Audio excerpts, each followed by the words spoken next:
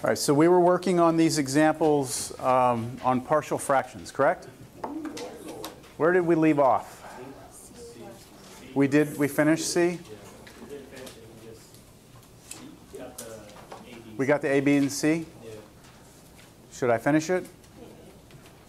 No? Yes? Okay, then you need to help me because I don't have any of that written down. Our new integrals should have been, Go ahead. It's going to be x over x plus 1 x minus 1 squared. What is it? Oh, plus Let me, let me see. Take a look at this. This what you got? Let me borrow it for a second. Okay, so we had a, which was negative 1 fourth over x plus 1 then plus b, which we got to be 1 fourth over x minus 1, and then c, which we got to be 1 half over x minus 1 squared dx. Does everyone agree with that? Yeah. Now, and, and this was just, here you go. This was just one part of it, right? Wasn't there another part? Because we had done long division. And when we did the long division, in your notes, we had an x plus 1 and then plus the remainder out here, right? So we, we integrated x plus 1 and we got, did we? Squared. 1 half x squared plus x? Plus four. Plus. four. Plus when you. The four should be on multiplied by the integral. Oh, you need a 4 down here? The four that is in the integral. Right here? Yes. Okay.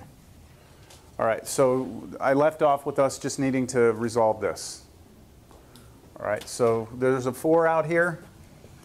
Each one of these I should be able to handle. So this first one, because it's a linear expression, you have a constant up top. This should be a natural log.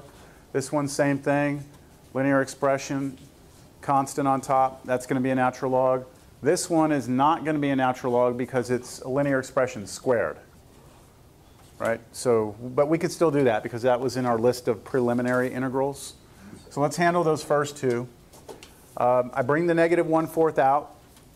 It multiplies times 4 and becomes negative 1. So we'll have negative natural log of x plus 1. And then this one, positive 1 fourth comes out, hits the 4, so that's positive 1, natural log of x minus 1. And then who can tell me how I'm going to do this one? Just a u sub. What's u going to be? X minus. x minus 1. And so this really will turn into, like bring the 1 half out, it's really like 1 over u squared. And the antiderivative of 1 over u squared is negative 1 over u. I'm hoping we've done that enough that if you had to do that, you could. Yes? No? Yes? So I'll have a plus and then 1 half, and then we're saying negative 1 over u, right? Which should be x plus 1, or x minus 1. And, uh-oh, I forgot my 4. No, it went away when you pulled out the one. Four. Yeah, I need this 4 for this half. So that would actually be a what? 2. And then plus c. And then that should be it. Now, what was the part, again, that we integrated in the very beginning? Was it this right here? So 1 half x squared plus x. So your final answer, okay, after all the work we did, should be 1 half x squared plus x minus natural log of x plus 1 plus natural log of x minus 1 plus, uh, well, I'll make this a minus, minus 2 over x minus 1 plus c.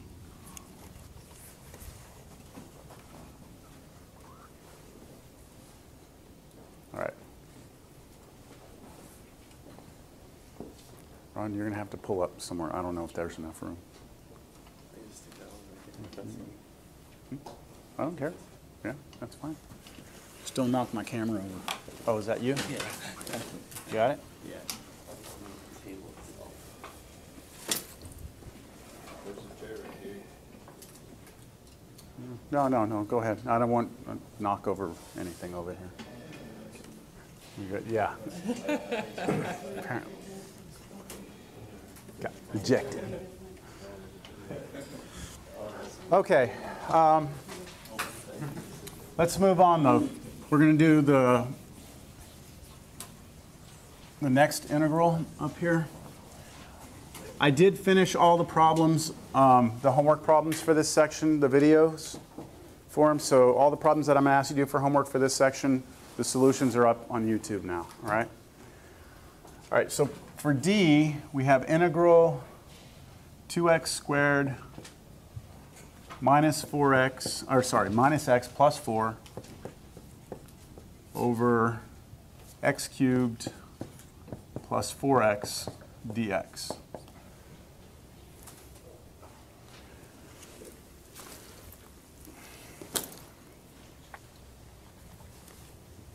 So we, we have a quadratic function on top, a quadratic polynomial. We have a cubic polynomial on the bottom, right?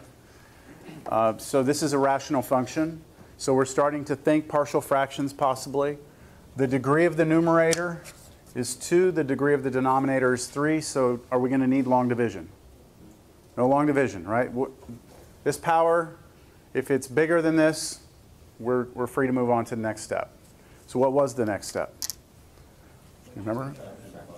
Factor the bottom, right? Factor the bottom if possible. Does that factor? It does, but not, not very much, right? All you can do is what? Just pull an x out.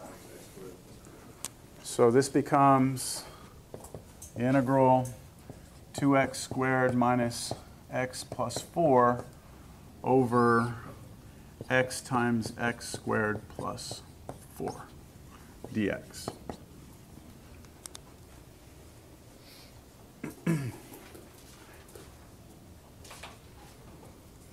Now, if you look back at the, at, I- if you have your notes with you, I want you to kind of look back at A, B, and C.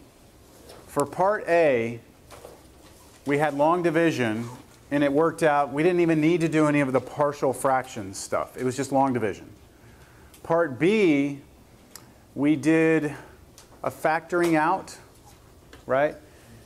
And then we factored the entire denominator. Can somebody tell me for part B, when we factored the denominator, what we had down there? It was like x and then, eh, what is it? 2x minus 1? And x plus 2? And then we had all the junk on top, right? That, that was part B. And so we said for part, for part B that this was what? One, two, three distinct linear factors, right? And so then that forced us to do a over x, b over 2x minus 1, and then c over this, right? In part C, our denominator, once we went through and, and cleaned it up, it factored to be, was it x plus 1 times x minus 1 squared when we factored? And so we said that this was, again, two distinct linear factors, but one of them was repeated. And so we, we still dealt with that by doing a over this, b over this, but without the squared, and then c over this with the squared. You kind of remember doing that? Okay, this right here is different than those in the sense that we have a distinct linear factor here. We do have a distinct linear factor. It's, it's really like that, right? Or if you like, you could write x minus 0. That's a distinct linear factor. This, though, is not a distinct linear factor. It's a quadratic factor, right? And it's irreducible, meaning that you can't factor x squared plus 4 any further, can you?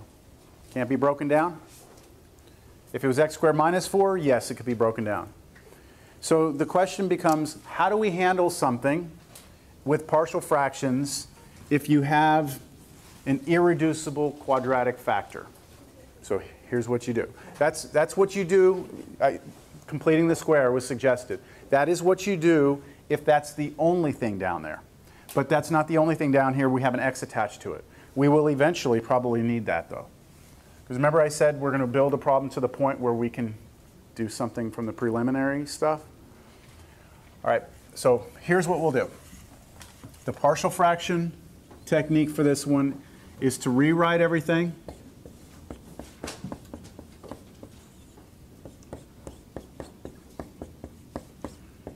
Every single time you ever see a linear factor, distinct linear factor, you put a over that distinct linear factor. So that's not different, right? That's the same as what we've done before, right? Yeah, yeah. Okay. Plus, now you may be thinking, well, why not just put b over this, right?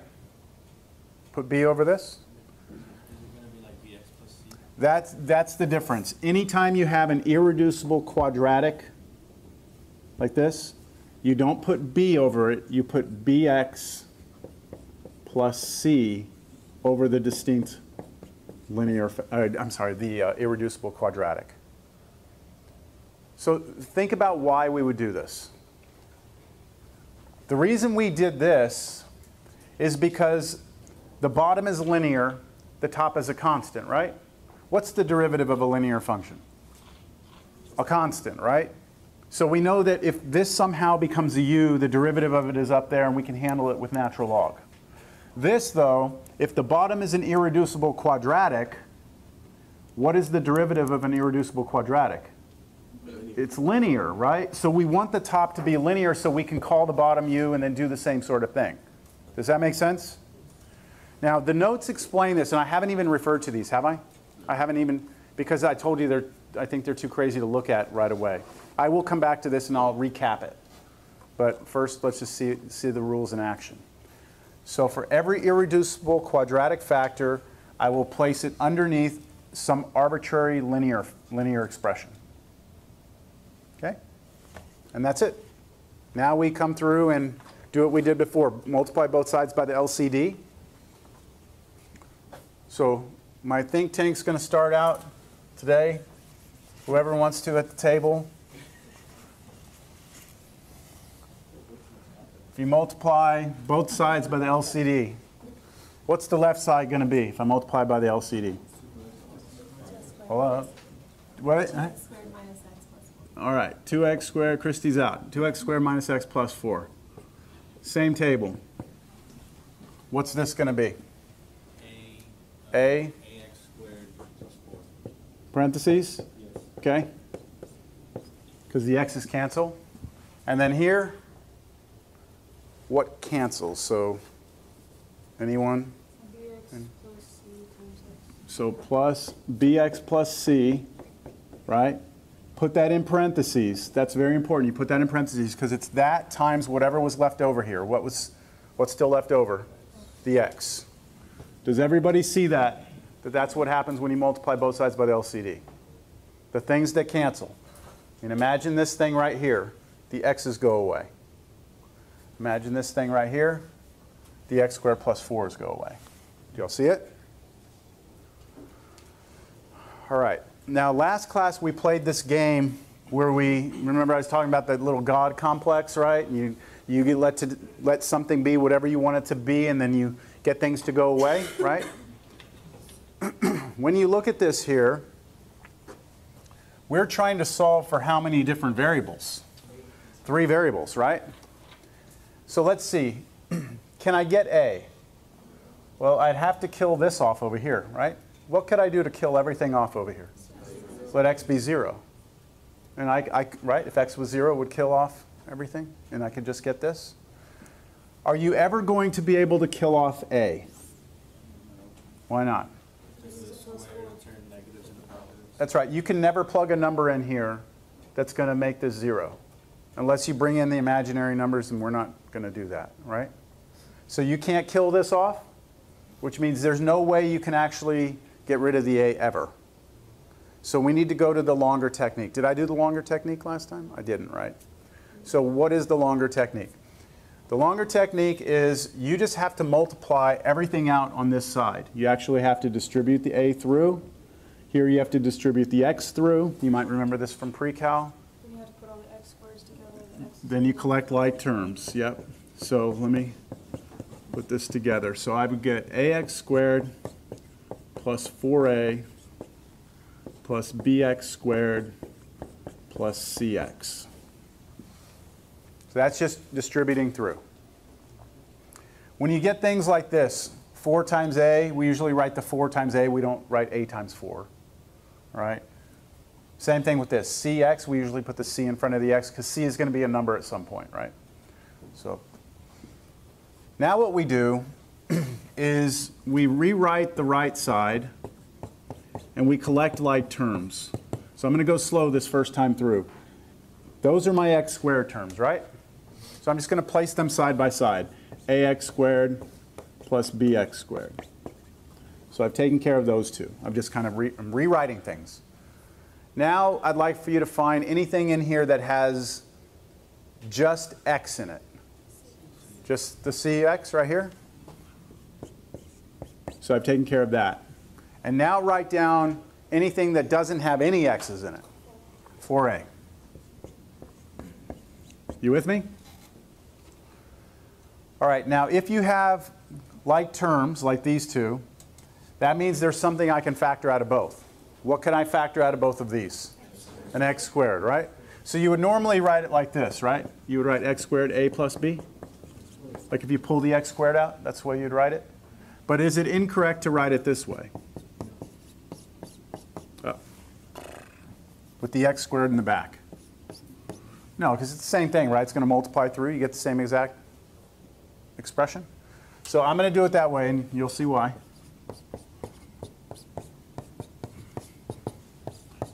A plus b x squared, then plus cx plus 4a. So I didn't have any more x's to group together here and anything else without x's, so that's the way it's written. All right? So in the long way, you're not trying to kill anything off. You're just trying to multiply it all out, get all like terms together, group them all up, and then take a look at them. If this equation, if this equation is going to be true, then do you agree that the number in front of x squared here must be equal to the number in front of x squared here? However many x squareds there are over there must match how many x squareds there are over here. Yes? And the number in front of x here, which is what? Negative 1. That number of x's needs to match up with the number in front of x here, right? We're trying to say these two sides are equal to each other. So what we're doing is we're matching coefficients. The coefficient of x squared must match the coefficient of x squared. The coefficient of x must match this coefficient of x. And the number that's by itself, 4, must match the thing out here that's by itself without any x's. Right? So what we get from this are three relationships, right? We get the relationship between a plus b and 2, the relationship between c and negative 1, and the relationship between 4a and 4. And that's three equations that we can now create. And there are three unknowns, aren't there? And so I'm going to write down those three equations using the symbol for a system of equations. The first equation says a plus b must equal what? 2. So I'm going to write a plus b must equal 2. And now I left a space here because in reality my three equations, there's three variables, a, b, and c. So I'm leaving a column for each variable. What does my next equation say? c must be negative 1. Well, that was nice. c is negative 1. And then what does the last equation say? 4a must equal 4.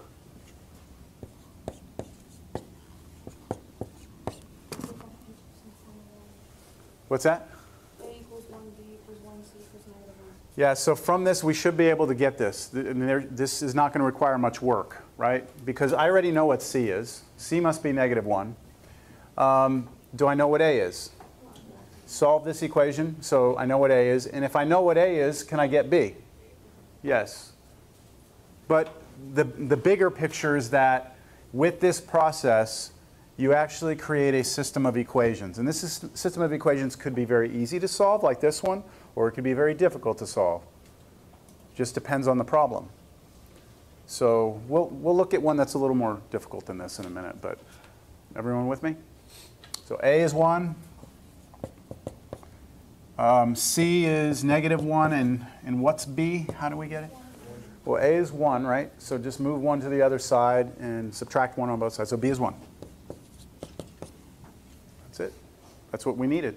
We needed A, B, and C.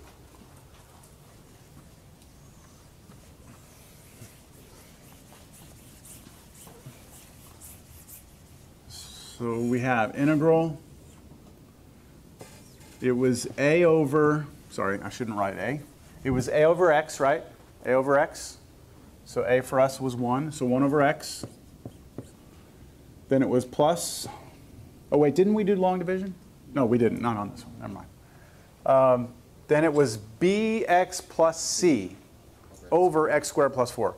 bx plus c, so b was 1, so 1x plus c, but what's c? Negative 1, so x minus 1, is that all right? Over x squared plus 4 dx.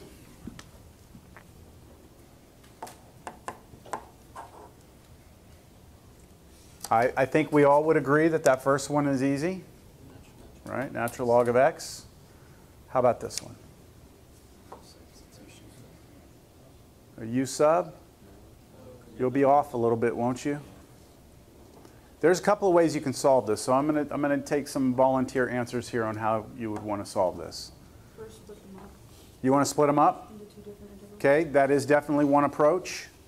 Another approach would be try u sub and see what happens, just like let u be the whole bottom. And the derivative of that is what? 2x, and you're off, but you could tweak it maybe. But I like the idea of splitting, because the splitting should come out pretty clean. Natural log, absolute value of x. That's the antiderivative of this. Plus two new integrals, x over x squared plus 4 dx, and then minus integral 1 over x squared plus 4 dx. So putting the x over this, the negative 1 over this, and I pulled the negative out. Everybody follow that? All right, let's move to the next table. So, any ideas on either one of these integrals? U sub on which one? First one, U sub, yep, that's going to work. How about this one?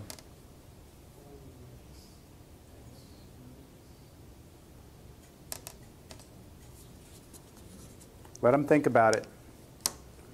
While they're thinking about it, I'm going to do some U sub over here.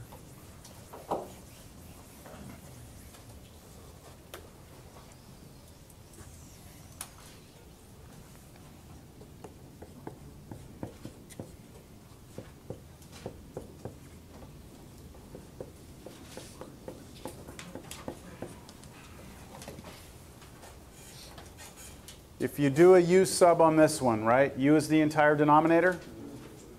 So u is x squared plus 4. The derivative of that is 2x dx. Do you have 2x dx? No, you're off, so you scale by 1 half. And so that one works this way. And then, yes, arctan. Right, this is the one that we love to see. 1 over variable squared plus constant squared. So this one's arctan. So minus, how does that formula work again? It's minus formula 17. 1 over a, what's a for us here? 2, it's the square root of this. So 1 over 2, arctangent of what?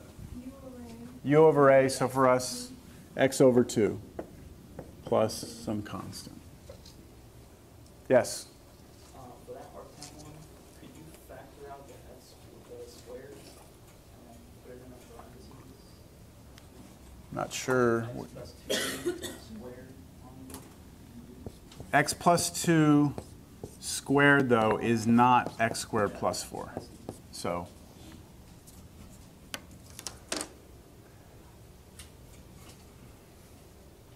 we good? Sure there's no questions?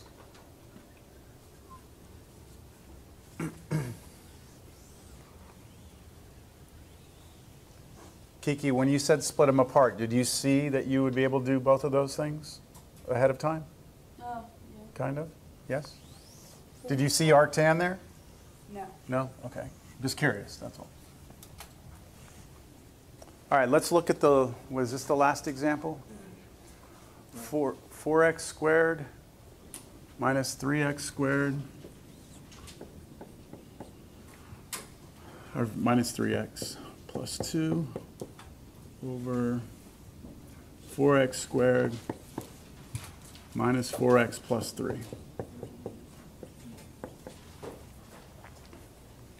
All right, we're back at, um, going back to the table there in the back corner, Vanessa Rubin. Anyone? Okay, which means long division first. All right, so we've got to do that. So here comes long division. 4x squared minus 3x plus 2. So I did long division in my college algebra class yesterday. They didn't like it. They didn't like it. And I told them that in my Cal 2 class, we're, we're actually using it. And they didn't care. 14, 14. They said, they said they would deal with that when they get here. But for now, they didn't like it. All right, so what is the first number that I'm going to multiply by? 1, right? 1 is going to create what I need here, 4x squared minus 4x plus 3. I come through, I subtract the row. So minus, plus, minus, right? So it became minus, plus, minus. So what's remaining down here? X minus 1? Can I keep going? No, long division is over. So I put plus the remainder over the divisor.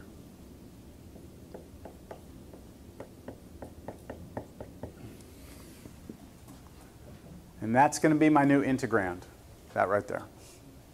One piece of it I'll be able to integrate pretty easily, right? The other, I'm going to have to take a look at. So my new integral is 1 plus x minus 1 over 4x squared minus x plus 3 dx.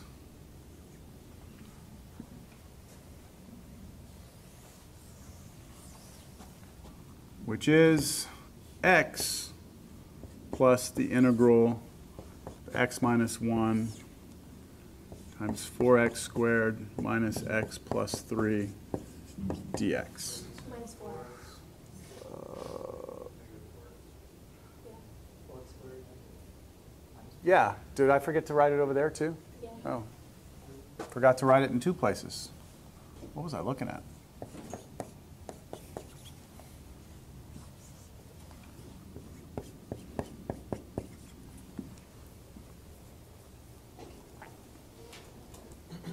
Okay.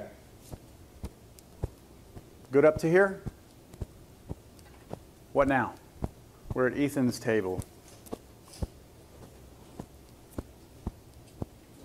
Anyone over there? How, how do you mean? Okay, so yes, you always look, can we factor the bottom? If we can, then we'll probably get distinct linear factors and we'll use the A and the B thing. If this factors. So does it factor? It's the same as the original, so what would What's that? it's the same as the original. So what that? We never tried factoring here, right? We never did because it was the same degree, so we just divided long division first. This is our first real attempt to factor it. Does it factor? It does?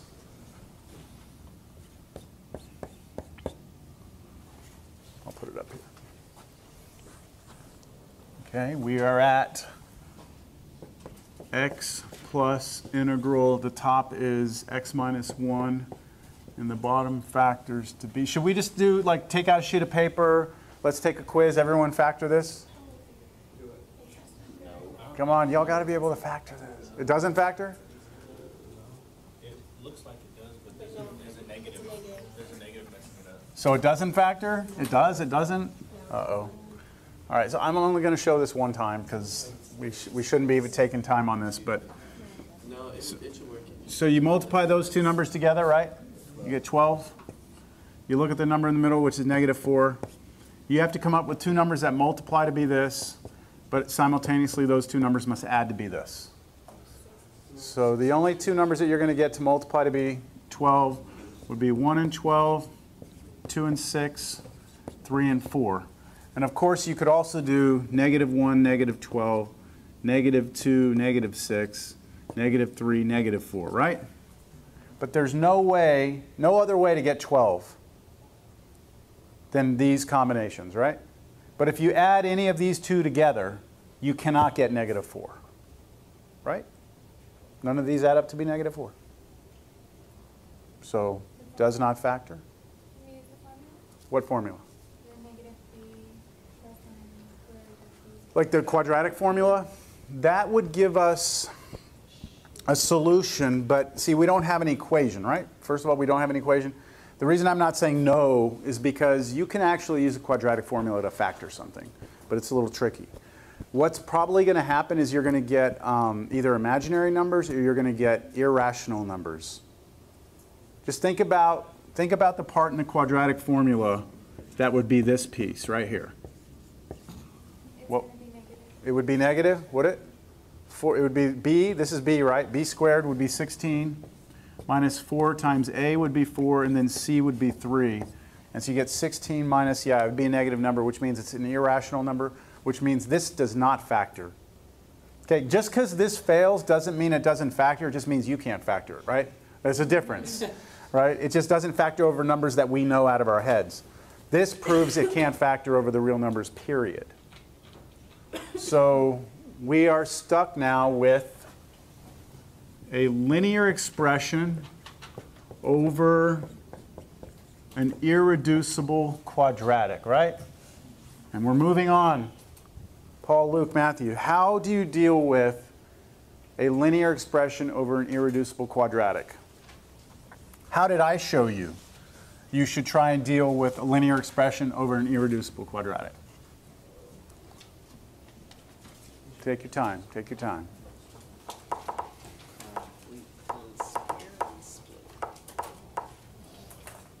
I'm, I'm hearing complete the square. At the bottom? I agree, complete the square will, will come into play. Not yet, though. After you pull out the, Nope. Anyone? Basic U substitution first.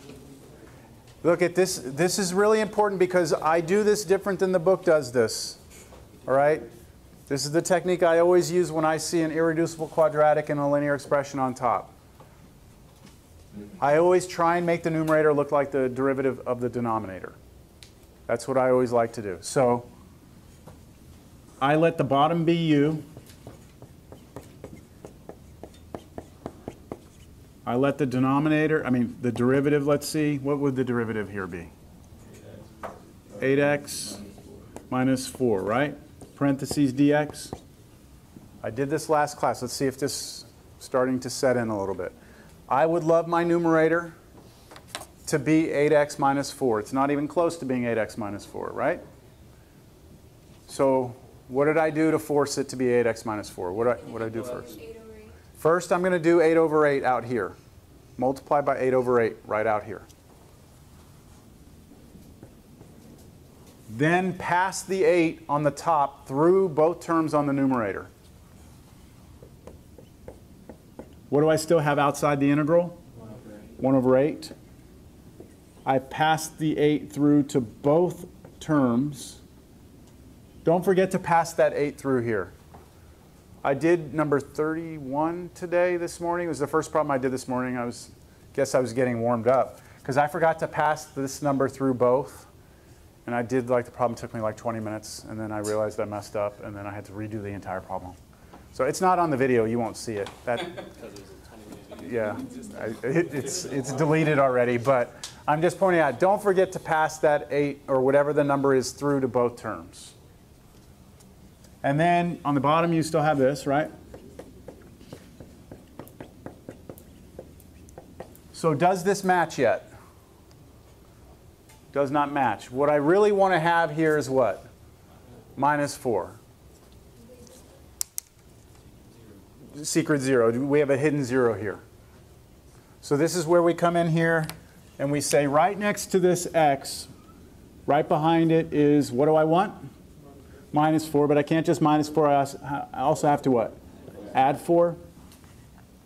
Now look, I've had students say this to me before, and this is correct. Look, if you have 8x minus 8, some people will just look at that and say, obviously, that's 8x minus 4 minus 4.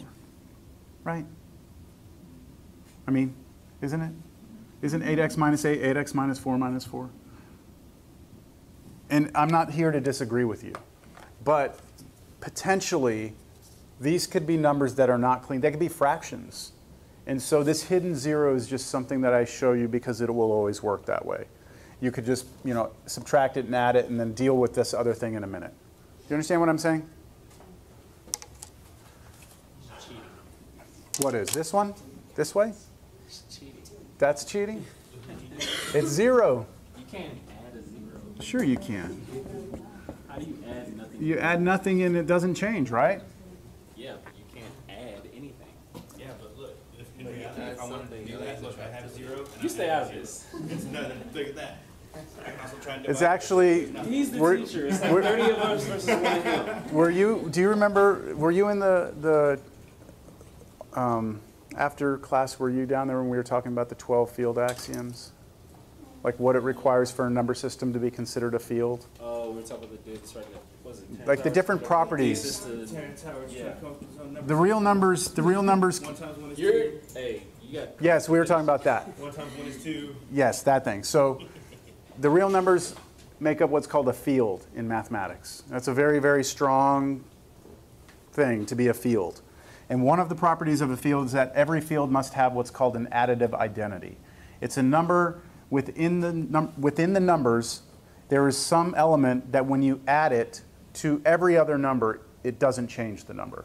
So x plus 0 equals 0. That is, 0 is the additive identity for the real number system. Similarly, every field must have what's called a multiplicative identity, a number that when you multiply it times any number in the field, you get itself. And one is the multiplicative identity. So as trivial as it may seem that, you know, really we're kind of cheating, no, the real number system being a field guarantees us we can always add nothing to something, and it doesn't change the problem. So it's a little, it's even more fundamental, I guess. All right, let's get back to the adding of the nothing. All right, so we go 8x, and then we go what? Minus 4 plus 4. There's my hidden 0. Then minus 8. All over 4x squared minus 4x plus 3 dx. All right. So where were we? We are at Luke Paul. So we're up here at Zach, Chris, Ivana, Alejandro. Why am I doing this? Like, why am I trying to do all this voodoo magic stuff? Hold on. So that are you sub over? Okay, so that the U sub that we originally wanted would work. So that means I'm going to split this, right, Ivana? Yeah. And you're telling me, Ivana, that then that first part where I split it, these two over this are going to work out, yes? Can you tell me, Ivana, what remains and how I will deal with that? Uh, there'll be a negative four over top of that whole thing. Mm-hmm. And then the four can come out and it'll become a two. Okay, And then the bottom, we have to complete square. there you go. That's it.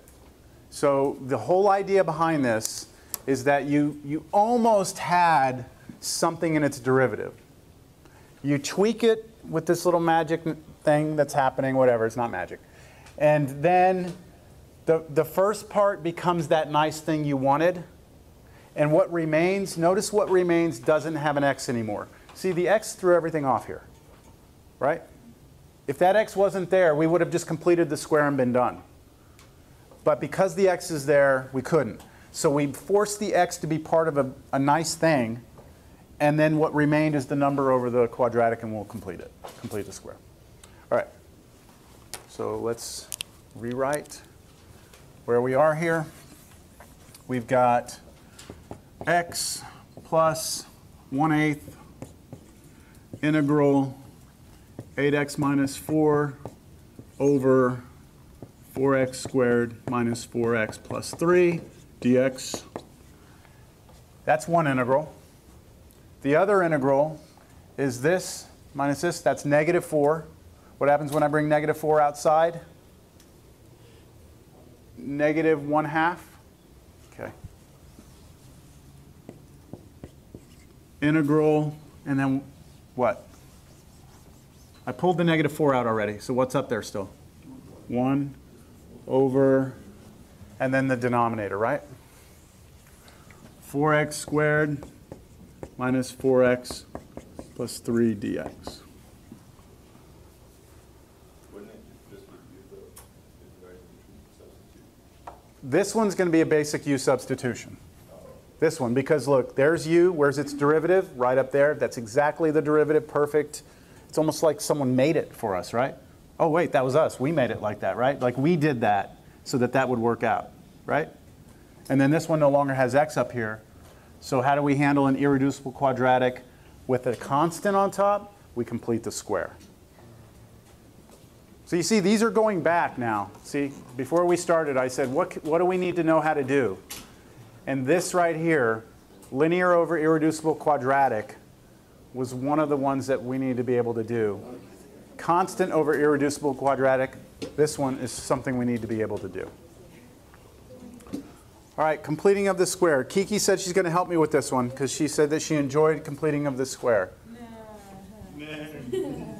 Okay, well, we're back at this table, so someone up, and Christy's out. So when you come back through, if you already answered, you can't answer. You have to make sure it's a one. That's correct. Do you want to go ahead and continue then? Alex? Yes? You have to make sure it's a 1 in front, so how do I do that? Just take a 4 out. So that gives me x squared minus x plus 3 fourths. I'm completing the square here, everyone, right? Then you identify the number in front of x, which for us is negative 1, right? And you take half of it. So I'll do that right here. Negative 1, half of it. That's my first number that's going to come into play. Then I square that, don't I? Negative 1 half times negative 1 half is going to be 1 fourth. And that's my second special number.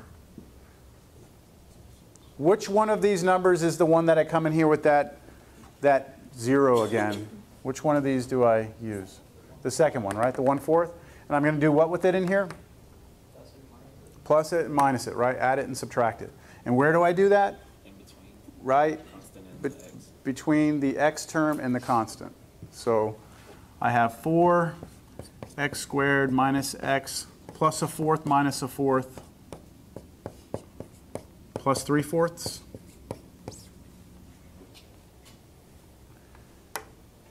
And I'm guaranteed, we're moving on to the next table. I'm guaranteed, who answered last time?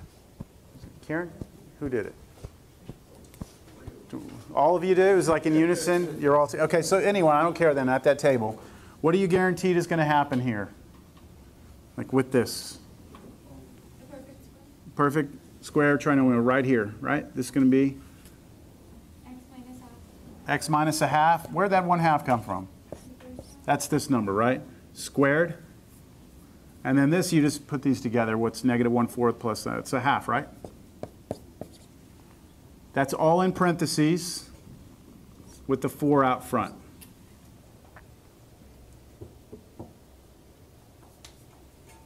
So this expression becomes this expression, becomes this expression, becomes this expression. And so I can rewrite this integral right here.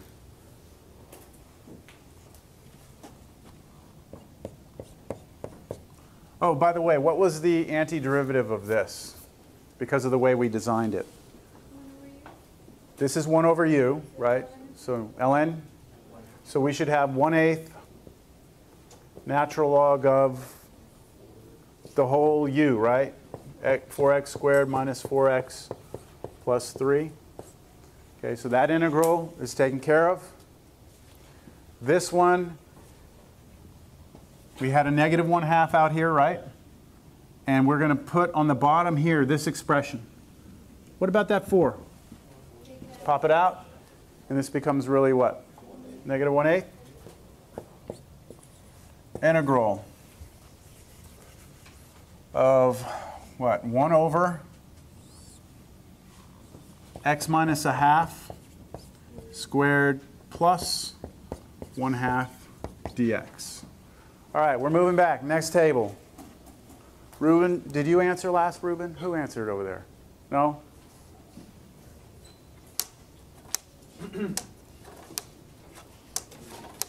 You answered, didn't you? I thought you and Kelly answered. No? Kind of like, You kind of, Mom, I heard you say long division, right? yeah. Okay. Ruben or Vanessa? This is Formula 17, isn't it? This is Formula 17. Now, there's a little bit of an issue here because this is not just u, right? It's a little linear expression, so you might need, I'm not, I don't know, this depends on you. Like if I was doing the problem, of course, I would just go right to the answer, but you might need to do a little quick u sub on this.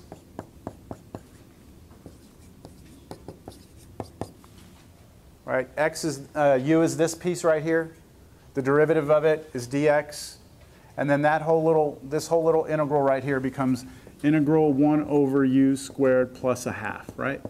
That's all it, all it is. And now you can go to formula 17. And what is a for us?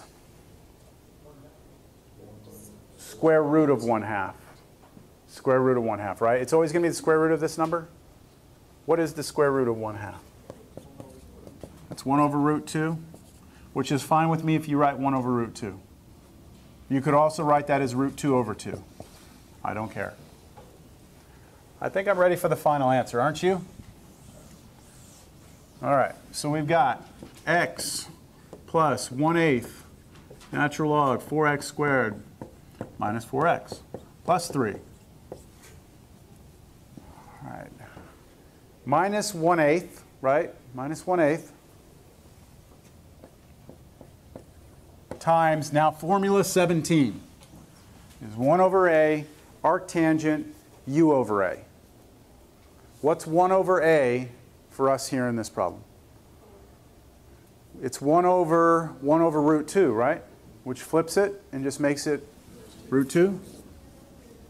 Arctangent of u over a, but what was u? x minus a half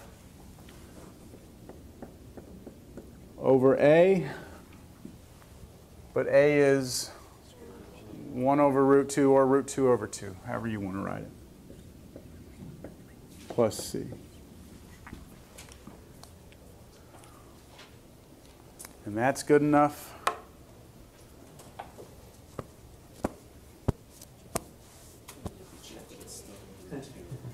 Yeah, you could do root 2 over 2 and then pop that 2 up top and make it a 2x minus 1.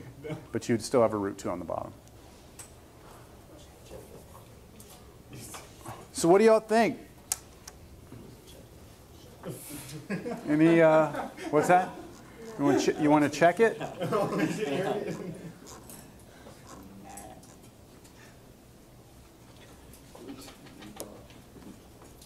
Really wouldn't be that bad, but okay. So that's it, huh? Partial fractions? So I, I suggest you go and take a look at the, you know, do all the homework. Um, some of the problems in the homework get a little more complicated than the ones that you see here. That's why I posted the solutions so you could go take a look at them. And what did I give you last time for homework? Did I write down an assignment? Okay. 7 through 12 all? Okay, so what I'd like for you to do now is just do 13 through 41 odd. Hey, I did 13 through 41 odd. It was fun. It wasn't as long as the previous section's homework. But, yeah, I guess so. So everyone have that? Same page. So it's page 334. What I'm really looking for you to do is 7 through 41 odd. I think that's what I did on my videos. I asked you to do 7 through 12 last class because I was just trying to get you to. The, the first few problems all had the same technique. So I was just trying to give you a little repetition.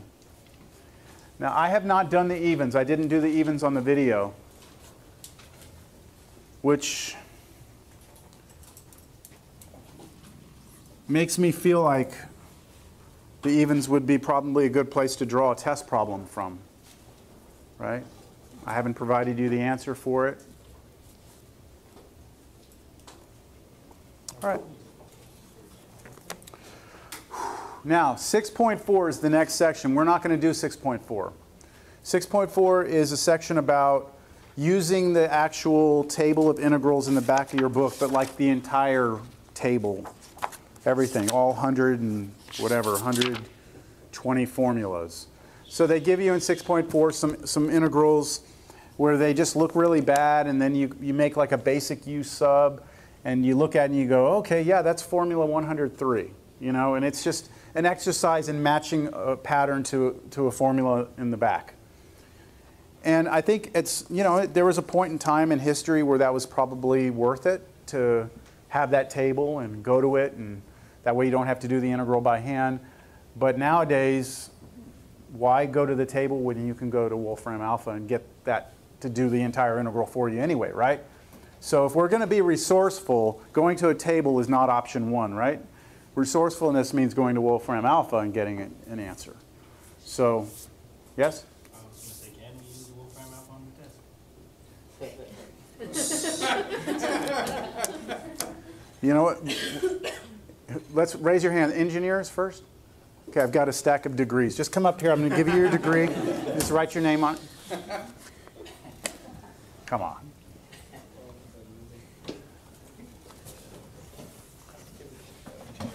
Good try. All right, so 6.4 I'm skipping. All right.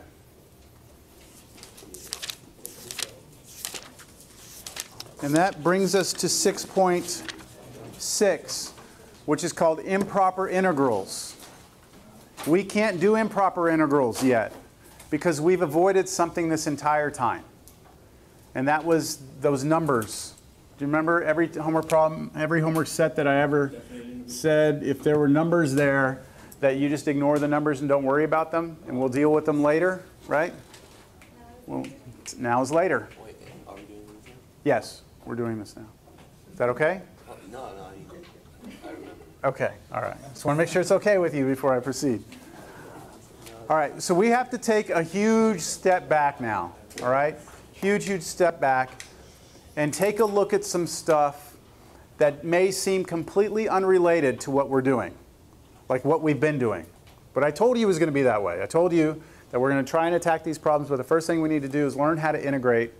Once we learn how to integrate, then we can do some applications. So with that said, I'm going to, where is it? I had it open a little while ago. So this was six point five? No, no, I'm not doing 6.4 right now. Six five? This is actually 5.2, 5.3, and 5.5 all together in just one big blah. Okay, it's, because we're going back, it's kind of hard to blah, yes. All right, can we, uh, Vanessa, can you kill one light, please, for me? So like I said, kind of clear your head a little bit, and, and sorry to make some of you look backwards, but this, this is not really a chapter in the book, which is why I'm calling it chapter R. And it's going to stand for Riemann sums. Riemann sums. So is everyone's mind cleared? Yes. Our motivation. So where does this, where, where are we going to start here with this brand new topic? The motivating idea is the classic area problem. So for many, many years, hundreds of years ago, you know, depending on your view of the way things were or how they have come to be, I hope that we could all agree that at some point we started to separate ourselves with barriers, right? This is mine, this is yours, right? Stay off of my stuff, I'll stay out of your stuff, right? And we started to create these borders between us, right? Whether it be a group of people or countries or whatever, or this is my land, that's your land. And so at some point we had to figure out clever ways of measuring you know how much that is like what is that how much is in there so on a two-dimensional picture this would be a representation of area right length times width and so we all know that the area of a rectangle is length times width right and if we got something more complicated like a triangle or something like that and we wanted to know the area then then we know that that's what what's the area of a triangle one half base times height, right? Yes. So why is it that way? Just, well, here's a different looking triangle that doesn't look half like half of a square to me. Would you agree?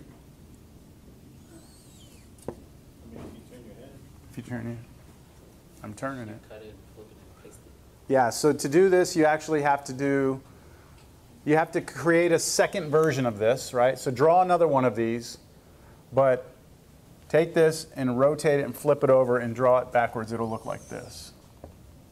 Ah, I messed it up. Okay. Good enough? Is that good enough? That's this picture like this. That's terrible.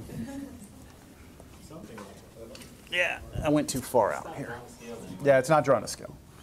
Okay, is that a little better? All right, so now the height is this, and the base is now here, right? Do y'all see it?